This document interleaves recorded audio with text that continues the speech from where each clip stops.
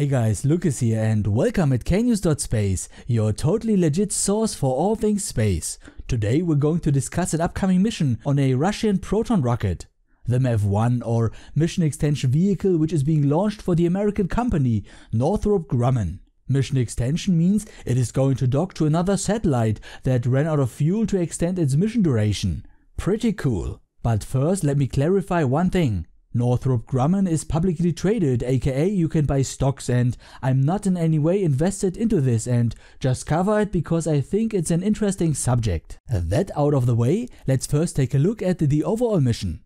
The launch site is Baikonur in Kazakhstan and it will take place on October 9th at 1017 UTC. There will be a live stream link below if you're interested in following the launch. MEV-1 shares the ride with Eutelsat 5 West B, also built by Northrop Grumman, which is your regular TV communication satellite that will hover in a geosynchronous slot at 5 degrees west over Europe. That's where you point your SAT-TV dishes at. These satellites don't move from their spot because the orbital speed around Earth at this altitude matches the Earth's spin. The final upper stage will release both satellites on a geosynchronous transfer orbit so that both satellites can make their way to their final destination using their own built-in propulsion system. In the case of MEV-1, two rather cool looking ion drive arms will extend with two thrusters on either side. I assume this is to get the exhaust out of the way of the satellites it will dock to. Speaking of it, its first customer if you will is Intelsat 901 if my information is correct, this first maneuver must be only a test since 901 launched in 2001 and should be out of service by now enjoying its retirement. Though it made headlines in 2015 when it was approached by a Russian satellite for what was later deemed to be spy activities. So the question becomes, what exactly does 901 do 18 years into its mission? We may never really know for sure but my speculation is the satellite is being used for military communication in the Middle East. Take this with a grain of salt though. Fact is, there will be a docking maneuver and mission extension for up to 5 years. Unlike spaceships, these satellites are not designed for docking. Northrop Grumman had to develop a system to attach MEV-1 without damaging the other. How this works is, MEV-1 will position itself behind the communication satellite to not interfere with its ongoing operations. The system then goes on to approach the satellite until it is close enough to deploy a sting which it will inject into the aft side of the satellite, more precisely its main engine.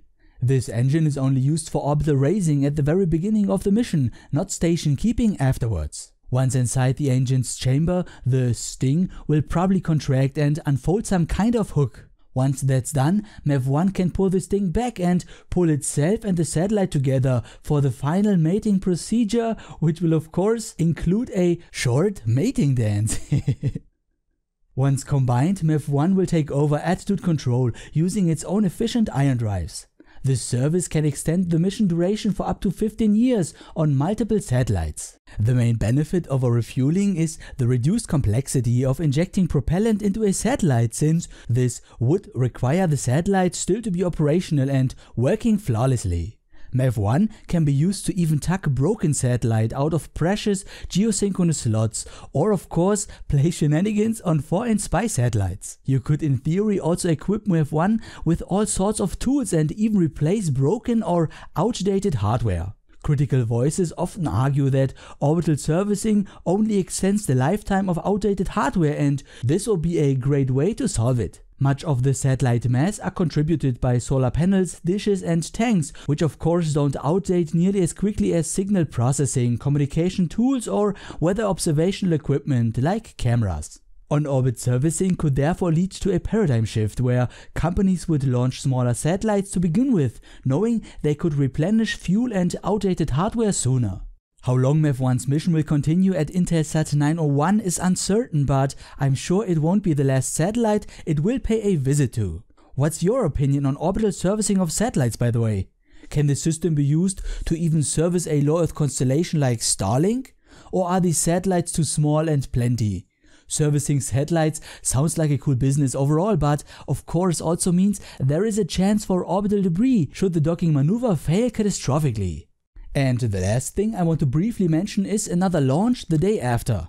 Pegasus is going to ride to space on October 10th at 1.30 UTC. The very special part, as you can see, is a plane launch, similar to what Virgin Galactic is planning for Launcher 1. If you want to see this rare rocket take off, don't miss the livestream, which I will of course also link below. Riding on Pegasus will be NASA's ICON or Ionospheric Connection Explorer, which will monitor the Earth's ionosphere. That's the part of the atmosphere that is heavily impacted by rocket launches. This layer of charged particles is not particularly important to Earth life as far as I understand, but communication satellites have to take it into account when talking to ground. Changing the properties of this layer can therefore lead to impaired communications, which can be harmful on, for example, systems that rely on GPS signals.